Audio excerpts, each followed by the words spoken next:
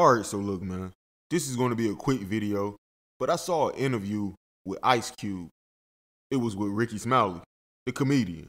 And as you can see from the title, it's regarding the movie Friday. Now, speaking of Friday, Rickey Smiley himself, he actually played in Friday After Next. He was the Santa Claus. But nonetheless, Rickey Smiley asked uh, Ice Cube what's going on with uh, the fourth installment of Friday. And as always, Ice Cube gave the same spiel about uh, Hollywood rejecting the movie scripts, but this time he actually detailed one of the scripts that they rejected. And man, it sounds fire.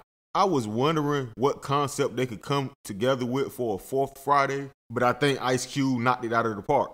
And the production company is actually dropping the ball by not accepting the script. So the storyline Ice Cube had for Friday Part 4, it was him and Day Day. They actually opened up a dispensary and if I'm not mistaken, he said some kids tried to rob him. They got into it with him and ended up in jail. So Friday Part 4 will actually take place inside of jail.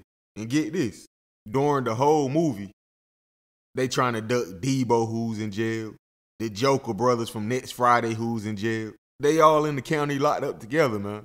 And I think that's a genius idea. I'm already sold.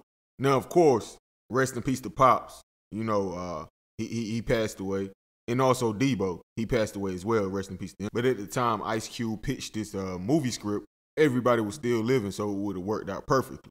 I have no idea why they uh, declined that film. Ice Cube said the reason they rejected it was because they didn't find the idea of being in jail funny. I don't know, man, but if you ask me, they're dropping the ball. I'd love to see this film because I still think it can work. Again, rest in peace to Debo. But instead of Debo being the one that's chasing you in jail, it can actually be Damon from uh, Friday at the. Same concept. Pops can't be in the movie, but the mom still can be. Uncle Elroy still can be. You get what I'm saying? I can already hear it, bro. Uncle Elroy on it, collect call going off on Mike Hill. But what y'all think? Is this a good idea? Or is Hollywood correct on this one? Do you think this movie would have flopped? That's it for this video. Catch y'all on the next one. I'm gone.